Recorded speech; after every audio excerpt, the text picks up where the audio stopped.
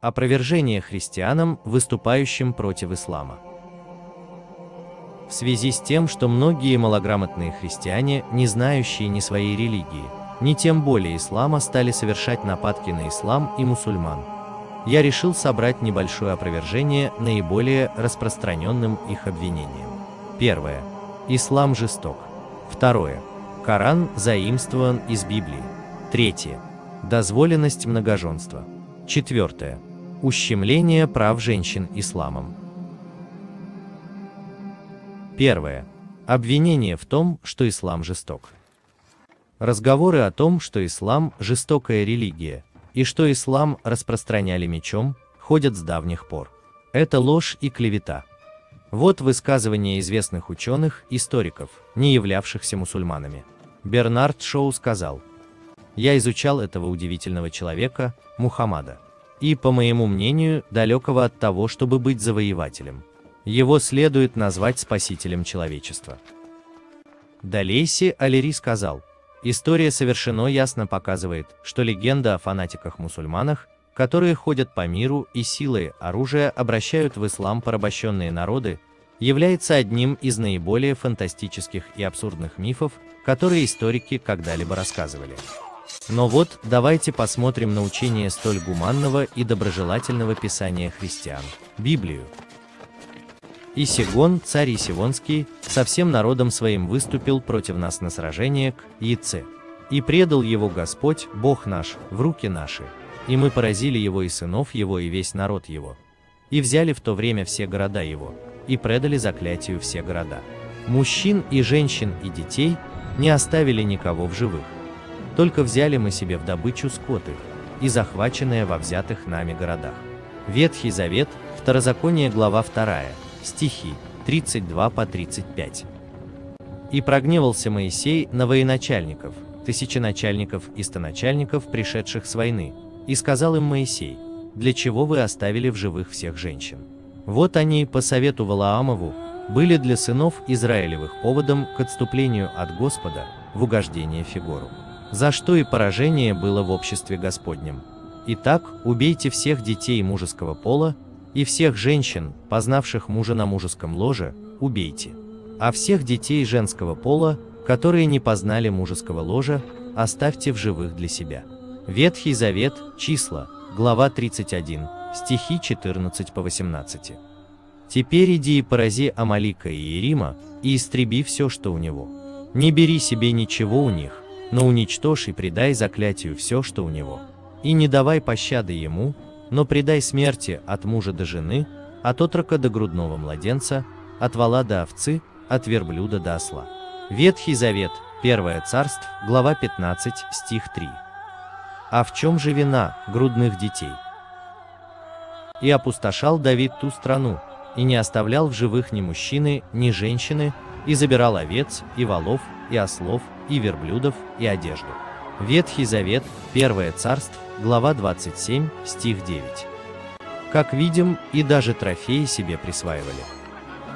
А народ, бывший в нем, он, Давид, вывел и положил их под пилы, под железные молотилки, под железные топоры, и бросил их в обжигательные печи. Так он поступил со всеми городами аммонитскими. Ветхий Завет, Вторая Царств, глава 12, стих 31. Вот, оказывается, откуда нацисты взяли свои методы пыток и издевательств над людьми. О, люди Писания! Объясните, пожалуйста, нам, мусульманам, что означают эти библейские стихи. Пусть же хоть один христианин или кто-либо другой покажет нам хотя бы один подобный аят из Корана. Хоть один. И разве эти веления Корана можно сравнить с вышеприведенными стихами Библии? Сражайтесь на пути Аллаха с теми, кто сражается против вас, но не приступайте к границе дозволенного. Воистину, Аллах не любит приступающих. Сура 2 Корова, аят 190. О те, которые уверовали! Когда вы выступаете на пути Аллаха, то удостоверяйтесь и не говорите тому, кто приветствует вас миром, ты неверующий, стремясь обрести тленные блага мирской жизни. Сура 4 Женщины, Аят 94. Если же какой-либо многобожник попросит у тебя убежище, то предоставь ему убежище, чтобы он мог услышать слово Аллаха. Затем доставь его в безопасное место, потому что они невежественные люди. Сура 9 Покаяние, аят 6. Пророк Мухаммад, да благословит его Аллах и приветствует, никогда не убил ни одного ребенка и женщину и не велел этого делать. Мало того, запрещал подобное строго-настрого. А всех тех, кто внес вышеприведенную жестокость в Библию, следовало бы предать так называемые анафеме. Ведь это слова маньяков, являющиеся наставлением для серийных убийц, которых полно в христианском мире. Вместо того, чтобы обвинять мусульман в жестокости, они бы лучше занялись своим народом. В истории человечества никогда не было маньяков и серийных убийц из числа мусульман. Кто, ответьте нам, пожалуйста, сбросил ядерную бомбу на Хиросиму? Мусульмане. Нет, конечно, христиане. Кто истреблял целые индейские племена и сжигал во имя Бога тысячи людей, неугодных церкви? Мусульмане. Нет, христиане. Пока он в руках троянца, наш народ все бедствия сумеет пережить, защищая Хеней. И новый дом найди им. Второе. Коран заимствован из Библии. Это обвинение можно опровергнуть очень легко и быстро. Такие известные ученые, кстати не мусульмане, как Ричард Белл и Кеннет Крак, после долгого изучения жизнеописания пророка Мухаммада, да благословит его Аллах и приветствует, пришли к выводу, что он, да благословит его Аллах и приветствует, не знал Библию и не имел личных контактов с переписчиками не только Библии, но и других писаний различных религий. Первая арабская версия Ветхого Завета появилась только два века спустя после смерти пророка Мухаммада, да благословит его Аллах и приветствует. А самая древняя версия Нового Завета появилась тысячу лет спустя после его смерти, да благословит его Аллах и приветствует. Начнем с основных различий между Кораном и Библией. Библия не является единой книгой, а есть собрание 66 книг, в соответствии с точкой зрения протестантов, и 75 книг, в соответствии с точкой зрения католиков, записанных примерно 40 авторами. Во-вторых, Библия – это смесь божественных утверждений и человеческих комментариев последователей. Для примера, Иеремия, глава 8, стих 8, Лука, глава 1, стихи 1 по 4, Первое послание Коринфянам, глава 7, стих 25. Коран же не имеет подобных комментариев. Даже слова пророка, да благословит его Аллах и приветствует, не являются частью Корана. В-третьих, в Новом Завете четыре Евангелия описывают Иисуса, его жизнь и Мессию. Коран же не является жизнеописанием Мухаммада, да благословит его Аллах и приветствует, написанный его последователями. В-четвертых, Библия включает в себя несколько книг, написанных много лет спустя после смерти Иисуса. Коран же стал фиксироваться еще при жизни пророка Мухаммада, да благословит его Аллах и приветствует его сподвижниками. В-пятых, четыре канонических Евангелия не были единственными, и решение, что должно присутствовать в Евангелии, а что нет, было предоставлено суду человека. В исламе же не обсуждается, какая сура может быть в Коране, а какая нет. В-шестых, описание одних и тех же событий в Коране и в Библии сильно отличаются. Так, например, в Библии сатана соблазнил Еву, в то время как Коран говорит, что сатана соблазнил их обоих. Причем не упоминается ни змея, ни гадина, ни что-либо еще в этом роде. Смотрите Бытие, глава 3, стихи 1 по 7. Коран, сура 2, аят 36, сура 7, аят 20. По Библии женщина несет бремя этой ошибки, и в наказание Бог умножил ее страдания деторождением в том смысле, что деторождение есть лишь расплата за ее ошибку.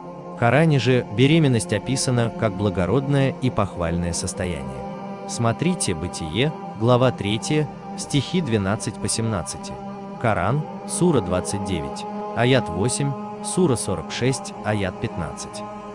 Также в Коране есть события, которые вообще отсутствуют в каких-либо писаниях.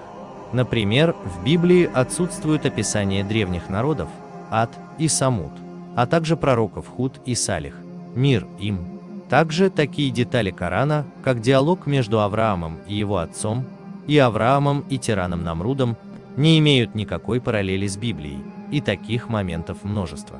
Так что и исторически, и религиозно известно, что учение ислама никоим образом не заимствовано ни от одной религии, включая и иудейско-христианские источники. Такой вывод делали и высокоинтеллектуальные люди, не имеющие никакого отношения к исламу. И почему же пророк Мухаммад, да благословит его Аллах и приветствует, заимствуя свои учения из Библии, не внес в него ни одного стиха о кровосмешении, которых в Библии целых десять.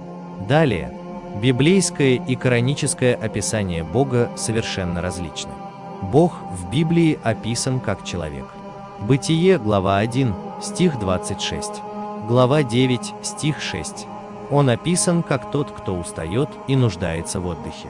Бытие, глава 2, стихи 2-3. Исход, глава 20, стих 11. Он забывает. Бытие, глава 8, стих 1. Исход, глава 2, стих 24. Бог гуляет по саду, и люди могут скрыться от него. Бытие, глава 3, стихи 8 по 11. Подобно человеку, Бог в Библии описывается извиняющимся за некоторые свои решения. Подразумевается, что он или не сведущ в последствиях, или он подчинен причудливым настроениям. Бытие, глава 6, стих 6. Судьи, глава 2, стих 18. Исход, глава 32, стих 14. По Библии, как и человек, Бог имеет ноздри, рот и пребывает в густой темноте. Вторая царств, глава 22, стихи 9 по 15. Первое царств, глава 8, стих 12. Числа, глава 11, стих 25. Иногда он даже нуждается в человеческом руководстве. Исход, глава 12, стих 13. Он боится человеческой власти и объединения. Бытие, глава 11, стихи 5 по 9. Глава 3, стихи 22 по 24. Такое описание не только отсутствует в Коране, но рассматривается как поношение великого Творца. Вся эта ложь не имеет никакого отношения к истинному Творцу.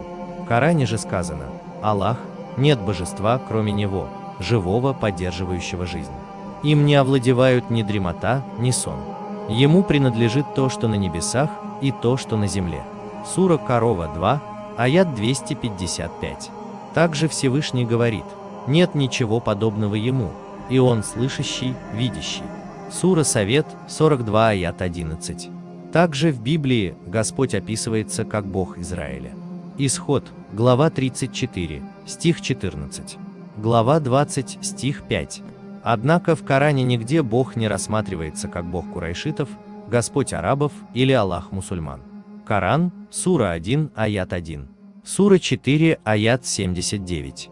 Библейская концепция пророчества радикально отличается от концепции представлений в Коране в то время как Коран описывает пророков лучшими образцами благочестия и праведности. Сура 21, аят 27. Сура 22, аят 52. В библейской версии почти все пророки совершают страшные грехи. Пророкам приписываются некоторые из страшных и мерзких действий, такие как поклонение Аарона идолу. Исход, глава 32, стихи 1 по 20. Подлая хитрость Якова против отца Исаака. Бытие, глава 27, стих 16. Склонность Соломона к идолопоклонничеству. Первое царство, глава 11, стих 4. Авраам или заключил кровосмесительную женитьбу с Сарой, или был просто подлым лгуном. Бытие, глава 12, стихи 10 по 12.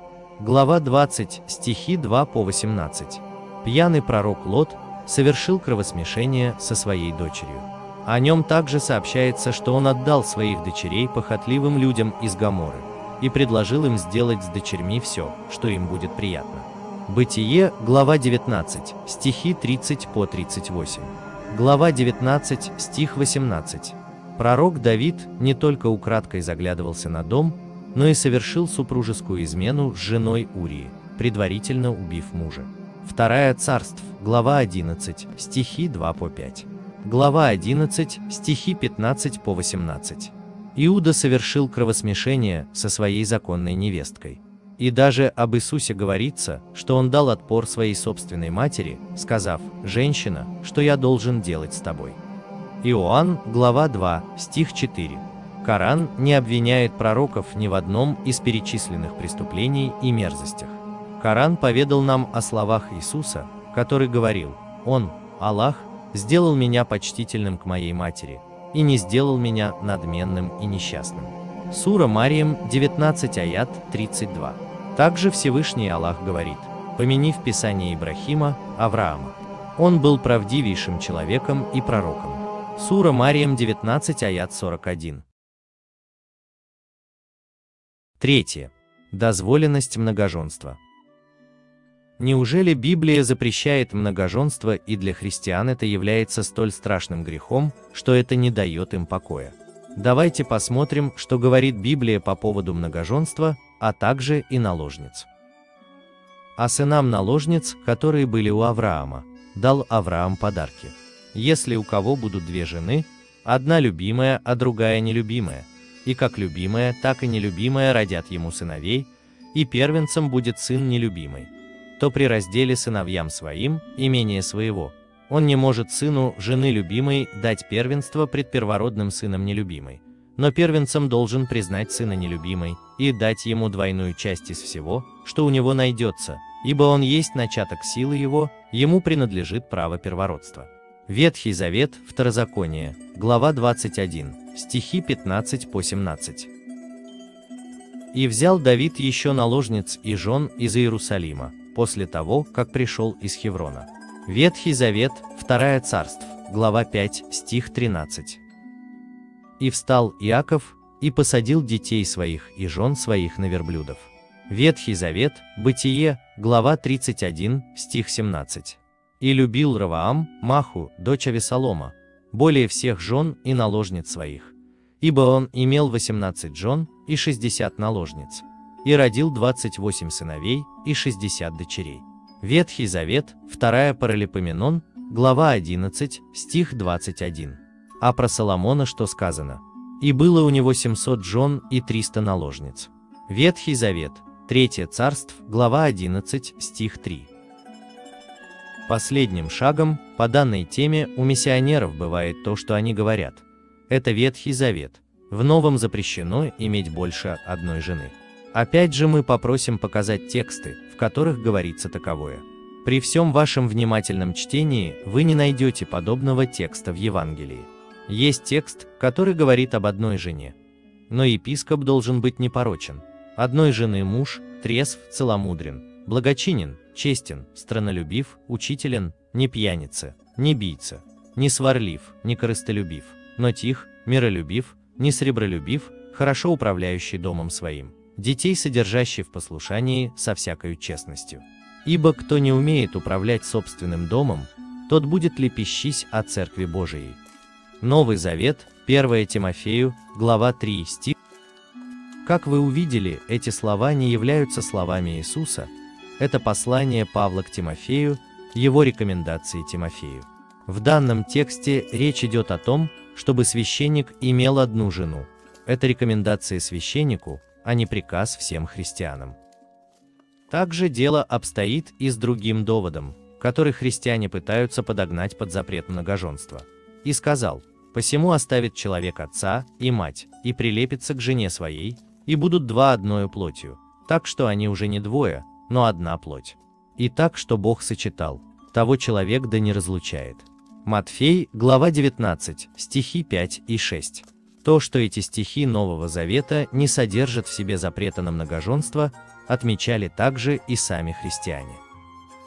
Отец Юджин Хилман в своей книге «Новый взгляд на многоженство» отмечает, нигде в Новом Завете нет явного указания на то, что брак обязательно должен быть моногамным, или какого-либо предписания, запрещающего многоженство.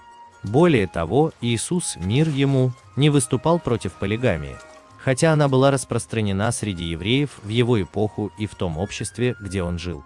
Отец Хилман подчеркивает тот факт, что римская церковь запретила полигамию, стремясь согласовать положение с нормами греко-римской культуры, которые предписывали иметь одну законную жену, допуская в то же время институт наложниц и проституцию. Автор цитирует святого Августина. Сейчас, в наше время и согласуясь с римским обычаем, не допускается более брать себе вторую жену. Единственный прямой запрет, касающийся многоженства, состоит в запрете брать в жены двух сестер. Левит, глава 18, стих 18.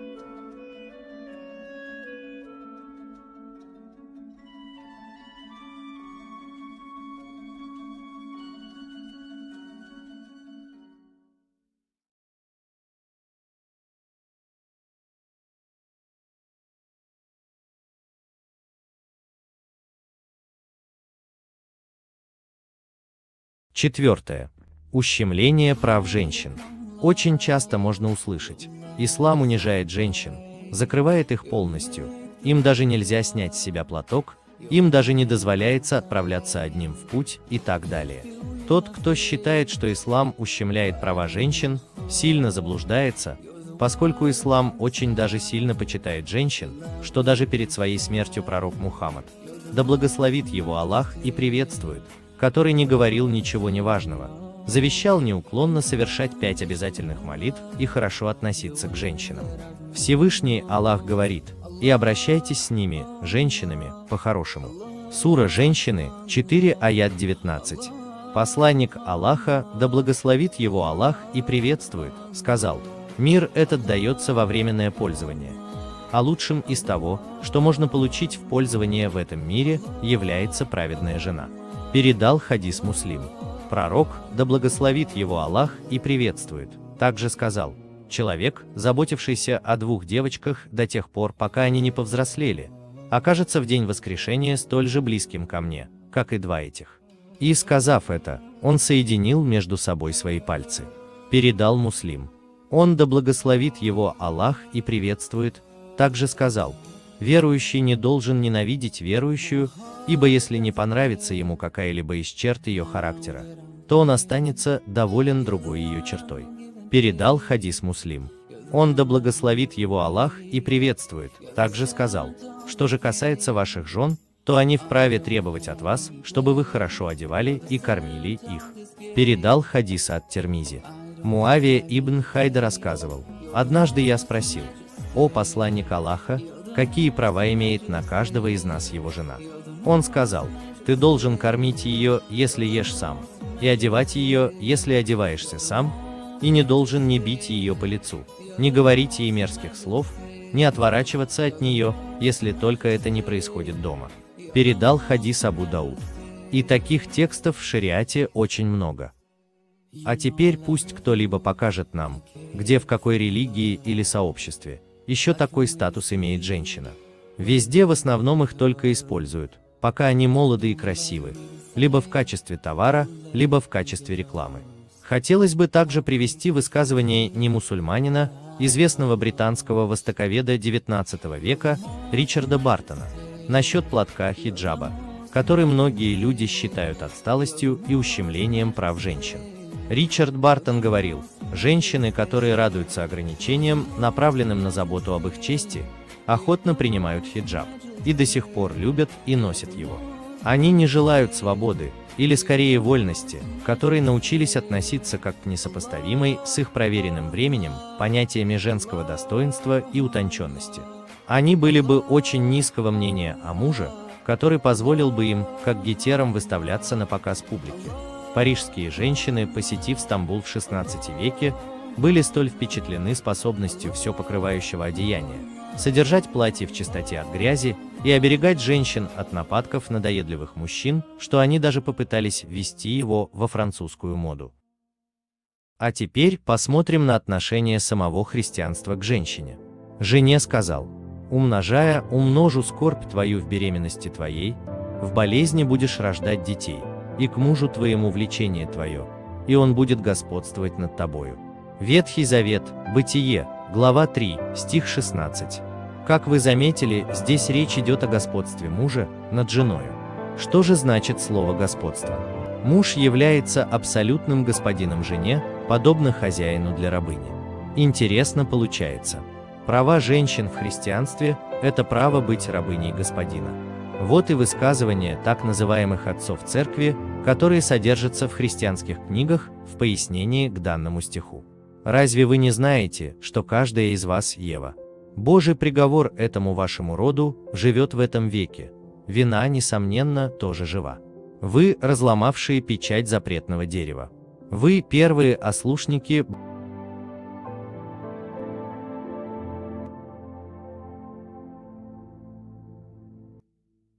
Обращение к христианам. Любая религия, утверждающая, что их источник – это божественное откровение, должна выдерживать серию испытаний. Первое и самое важное – это внутренняя последовательность. Это означает, что одно утверждение Писания не должно противоречить другому из этого же Писания. Второе – это внешняя последовательность. Это означает, что утверждения данного Писания – не должны противоречить общеизвестным фактам, будут ли они из области физики, химии, математики, истории, географии или биологии и так далее. И с уверенностью можно заявить, что единственным писанием, выдерживающим эту критику, которую предъявляют профессора и ученые не из числа мусульман, является священный Коран. Всевышний призывает изучать Коран и размышлять над ним, говоря, неужели они не задумываются над Кораном, ведь если бы он был не от Аллаха, то они нашли бы в нем множество противоречий. Сура Женщины 4, аят 82. И хвала Аллаху, в Коране нет никаких противоречий, как внутренних, так и внешних. А что касается других писаний, мы с вами видим, что в них множество противоречий, что и указывает на то, что они искажены и ложно приписываются Богу. О чем и сообщил в Коране Всевышний Аллах. Среди них есть такие, которые искажают Писание своими языками, чтобы вы приняли за Писание то, что не относится к Писанию. Они говорят, это от Аллаха. А ведь это вовсе не от Аллаха. Они сознательно возводят навет на Аллаха. Сура семейства Имрана 3, аят 82.